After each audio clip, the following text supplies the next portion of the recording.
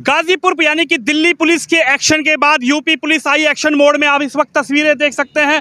यहाँ पर गाजीपुर बॉर्डर पर मौजूद हूँ और यहाँ पर एसएसपी पवन कुमार जी आए हैं और यूपी पुलिस का पूरा दल बल के साथ इस वक्त गाजीपुर बॉर्डर पर यूपी पुलिस, यानी कि योगी की पुलिस पहुँच चुकी है। और सबसे बड़ी बात यह है कि जो पिछले ग्यारह महीने से जो रास्ता बंद किया हुआ था, अब उसको दिल्ली की सीमा, यानी कि जो गाजीपुर बॉर्डर पर जो रास्ता बंद किया हुआ था, दिल्ली पुलिस इसको खोल रही है। और इस वक्त गाज़ियाबाद के जो एसएसपी हैं पवन कुमार जी वो अपने दल बल के साथ गाज़ीपुर बॉर्डर पहुँच चुके हैं। किसानों से बातचीत चल रही है, क्योंकि सुप्रीम कोर्ट का एक आदेश आया था। सुप्रीम कोर्ट के आदेश में कहा गया था कि भाई, रास्ता जो है, रास्ता आम जनता के चलने के लिए है, ना कि सड़कों पर टेंट लगाकर रास्ते को रोकने के लिए। लेकिन जब राकेश टिकैत से सवाल को किया गया तो राकेश टिकैत ने ये जवाब दिया कि हम तो दिल्ली जाना चाहते हैं।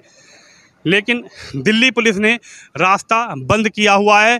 किसानों ने कोई रास्ता बंद नहीं किया, लेकिन अब दिल्ली पुलिस की तरफ़ से रास्ता खोल दिया गया है और यूपी पुलिस भी एक्शन में आ चुकी है, क्योंकि नीचे से जो रास्ता बंद है, वो यूपी पुलिस की तरफ़ से बंद है।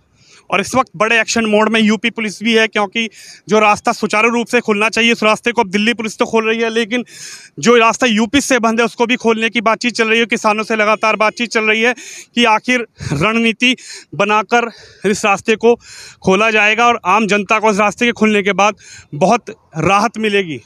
सर पिछले 11 महीने से जिस तरीके से रास्ता बंद किया हुआ था किसान आंदोलन की वजह से लेकिन आम जनता को बहुत दिक्कतें हो रही थी और आज दिल्ली पुलिस ने रास्ता खोल दिया। उत्तर प्रदेश की सीमा पर जो रास्ता बंद है खोड़ा के सामने क्या उसको भी खोला जाएगा सर? नहीं अभी सभी स्तर पर वार्ता चल रही है। जो यहाँ पे हो रहा है अभी उस पर हालातों पर जायज़ा लिया जा रहा है। उसके बाद में जितने भी इसके स्टेक होल्डर हैं किसान है प्रशासन है सबसे वार्ता के क्रम में ये देखा जाएगा कि किस तरीके से ट्रैफ़िक स्मूथ रहे और लॉ एंड ऑर्डर की स्थिति ना बने। सर, लेकिन राकेश टिकैत जी की और जो जितने भी किसान हैं, इन्होंने यहाँ पर एक जो अपने टेंट गार्ड रखे हैं, उस पर यूपी पुलिस की एक्शन लेगी।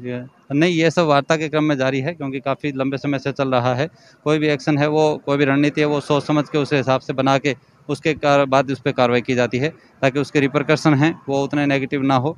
तो ये वार्ता का क्रम सभी स्तर पर चल रहा है कि इसके बाद में क्या कार्रवाई की जाए ताकि लॉ एंड ऑर्डर है वो ना बिगड़े और ट्रैफ़िक स्मूथ चलता यानी कि आज सुचारू रूप से रास्ता खोल दिया जाएगा आम जनता के चलने के लिए। अभी इसमें देखते हैं वो बैरिकेटिंग हट रही है और वार्ता चल रही है। तो देखते हैं उम्मीद है कि सब कुछ सही होगा। नहीं सर अगर दिल्ली पुलिस बैरिकेटिंग हटा देती है तो फिर आपका क्या एक्शन रहेगा सर? नहीं दिल्ली पुलिस बैरिकेटिंग हटा रही है उसके बाद आगे मूवमेंट क्या होना है वो देखने के बाद ही होगा। सबसे बात करके।